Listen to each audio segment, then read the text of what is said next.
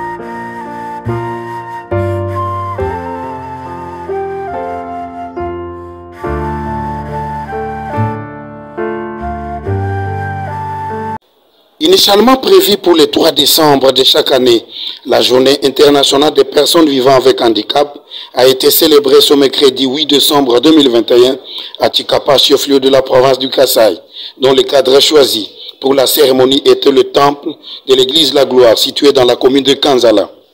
Prenant la parole, le gouverneur Dieudonné Pierre Côte n'a pas voulu appeler ces hommes et femmes handicapés physiques mais plutôt des personnes à mobilité réduite, dotées de toute capacité intellectuelle, capables d'apporter un plus dans le développement de nos sociétés. Il les a non seulement encouragés à espérer toujours un avenir meilleur dans la grâce de Dieu, mais aussi poser un geste de bonne foi en mettant à leur disposition 10 millions de francs congolais au nom du gouvernement provincial pour le débit des travaux de construction de leur foyer social dans les sites de Kamalenga. Un geste de bon samaritain qui a été imité par M. Fidel Castro Kassonga, opérateur dans le secteur du Diamao Kassai, qui a sur place mis à la disposition des handicapés physiques du Kassai une somme de 1000 dollars américains.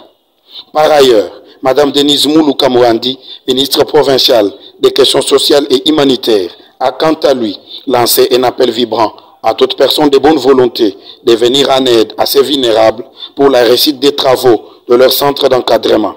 Si vos cœurs ont été touchés, comme ils ont demandé pardon, ils ont leur terrain de 50 mètres sur 100 qui n'est pas encore construit.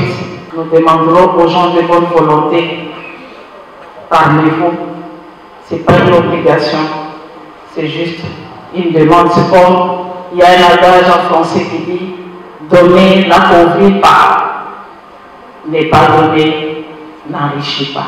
Bien avant, les porte-parole de ces handicapés physiques avaient salué l'engagement du gouverneur Dieudonné Piémé dans la matérialisation de leur projet de construction de leur centre d'encadrement tout en demandant pardon aux premiers citoyens du Kassai pour les dérapages commis par certains d'entre eux chaque jour devant les bâtiments administratifs du gouvernorat du Kassai.